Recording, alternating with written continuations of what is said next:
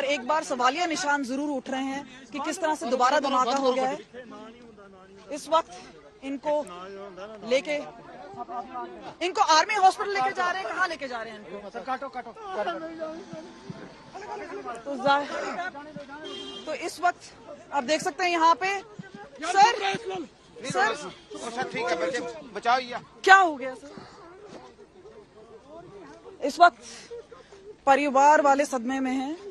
बताएँगे आप क्या बताएँगे? हमारी आर्मी होते हुए आईटी फट रही है हमारे प्रशासन बोल रहा हम सर्च ऑपरेशन चला रहे क्या चला रहे हैं अफसर हमारे बच्चे मर रहे हैं और क्या कर रहे हैं हमने यहाँ? क्या कर रहे हैं फौज को हमने? बच्चे मर रहे हैं कोई उठा नहीं रहा फौज वाला।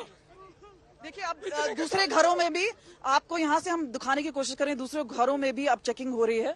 और ये चेक किया जा रहा है कि कोई घर में अंदर ना हो, क्योंकि कुछ बच्चों को भी ले जाया गया इस वक्त, और खास तौर पे सेफ्टी का ध्यान रखते हुए। और हम अपने आप से एक दूरी बना के रख रहे हैं यहाँ पर। घर से पर आप देख सकते हैं कि किस तरह से लगातार चेकिंग चल रही है। और यहाँ पे एक दहशत का माहौल है इस वक्त लेकिन जहाँ पे आप दूसरा दूसरा घर भी काफ़ी दूर है, लेकिन आप देख सकते हैं कि किस तरह से अब जो एरिया है उसको सैनिटाइज किया जा रहा है।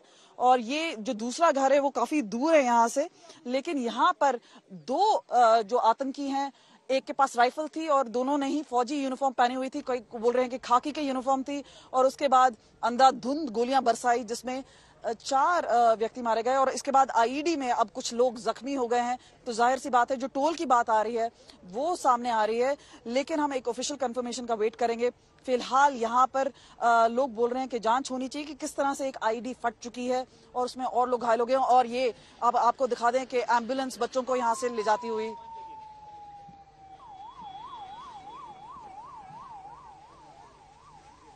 बच्ची फ़ोटो मेरे पास।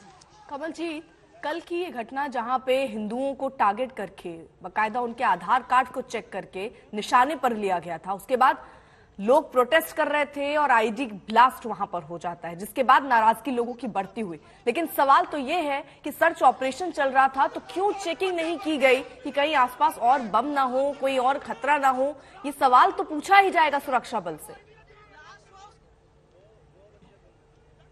बिल्कुल आपने सही कहा, क्योंकि देखिए जो आधा गाँव है, वो बाहर चौक पे खड़ा है, जहाँ पे चार मृतकों की शव पड़े हुए हैं बॉडीज पड़ी हुई हैं, और वहाँ पे कहा जा रहा है कि एलजी यहाँ पर आए, हमारी बातों को सुने जस्टिस होना चाहिए, इंसाफ होना चाहिए इनकाउंटर होना चाहिए, लेकिन विलेज डिफेंस कमेटीज को हथियार देने चाहिए, ताकि कोई भी आतंकी इस तरह की घटना करे तो उसी तरह समय इंतज़ार ना करें सुरक्षा बलों का, वो खुद भी जवाबी कार्रवाई कर सकें। लेकिन अगर हम बात करें, जो दूसरा घर है, वो यहाँ पे है, और जहाँ पे वो आईडी ब्लास्ट हुआ है, वो हमारे बिल्कुल पीछे है, जहाँ पे ये धमाका हुआ, जहाँ पे हम बच्चों से बात कर रहे थे। और कुछ मिनट का ही फ़र्क रह गया था कि जब हम इंटरव्यू करके नीचे आए तो ज़ाहिर सी बात है, वहाँ पर किस तरह का एक आईडी ब्लास्ट हो जाना, अपने आप अचंबे की बात है ये लोग ज़रूर सवाल उठा रहे हैं कि किस तरह से सैनिटाइज नहीं किया गया था एरिया और हमने वहाँ पे पुलिस वालों से भी पूछा, उन्होंने कहा कि वो जवाबी कार्रवाई कर रहे हैं। लेकिन ज़ाहिर सी बात है, कहीं ना कहीं नेग्लिजेंस तो रहा ही है। और जिस वजह से अब अब दोबारा एक बार फिर जो सुरक्षा बल हैं, वो घर में एंट्री लेते हुए, अब यहाँ पे पूरी चेकिंग की जाएगी। और आप देखिएगा यहाँ पे कुछ सिविलियंस हैं, वो भी ऊपर चले गए हैं, जो कि नहीं होना चाहिए। अगर कोई और ब्लास्ट होता है तो ज़ाहिर सी बात है वो देखना होगा कि मीन्स किस तरह से? लेकिन यहाँ पर हरकत में आते हुए कई लोगों को बोला गया कि आप पीछे की तरफ़ रहिए, लेकिन वो नहीं सुन रहे हैं। यहाँ पर आप देख सकते हैं कि किस तरह से दीपक जो कि तेईस साल का लड़का है, उसके घर पे किस तरह से शोक सभा की जगह अब ऐसे लोग वहाँ पे खड़े हुए हैं और आसपास के जो घरों को भी घेराबंदी में ले लिया गया है। एक लाइव सिचुएशन है। वो यहाँ पर इस वक्त भी बना हुआ है और हमने देखा है कि किस तरह से सुरक्षा बलों ने घेरा लिया हुआ है। ये देखने की कोशिश की जा रही है कि कोई और व्यक्ति यहाँ पर फंसा ना हो, कोई बच्चा ना हो और यहाँ पर जो एरिया है उसको अब सैनिटाइज किया जा रहा है। ज़ाहिर सी बात है, ये जो आप एरिया आपको नज़र आ रहा है इस वक्त, ये घेरेबंदी में है, लेकिन कुछ लोग हैं जान पे खेल के ही सही, लेकिन ऊपर है। हम सजेस्ट नहीं करेंगे कि ऊपर वहाँ पे क्लोजअप पे जाया जाए, लेकिन ऐसा बोला जा रहा है, एक और आईडी मिली है, लेकिन देखने वाली बात होगी कि यहाँ पर कुछ और धमाका ना हो।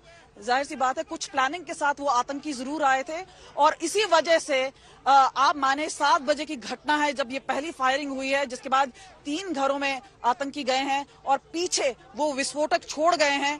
यहाँ पे पोजीशंस ली हुई हैं, लेकिन काफ़ी लोग आगे भी खड़े हैं जो कि बिल्कुल सेफ़ नहीं है। आपको ये भी बता दें, यहाँ एरिया जो है वो पूरा सैनिटाइज करने वाला है और बच्चों को हमने देखा किस तरह से चीखते चिल्लाते हुए यहाँ पर गए, लेकिन उनको सुरक्षित बाहर निकाला गया है। हादसे में जो नया आईडी ब्लास्ट हुआ है उसमें अ, कम से कम चार लोग घायल ज़रूर हुए हैं और अस्पताल में अगर हम हाँ, बात करें यहाँ पर इस एरिया को अब क्लियर करने की कोशिश की जा रही है पर अपने आप में सवालिया निशान ज़रूर है कि इतने घंटों के बाद अगर आईडी हुआ है तो वो कैसे हुआ है और कौन जिम्मेदार है? क्योंकि एक प्रोटोकॉल होता है एक स्टैंडर्ड ऑपरेटिंग प्रोसीजर होता है जो कि हर केस में अ, किया जाता है। अब अ, लोगों को पीछे करते हुए सुरक्षा बल और खास तौर पे एक आउटर कॉर्डन भी किया गया है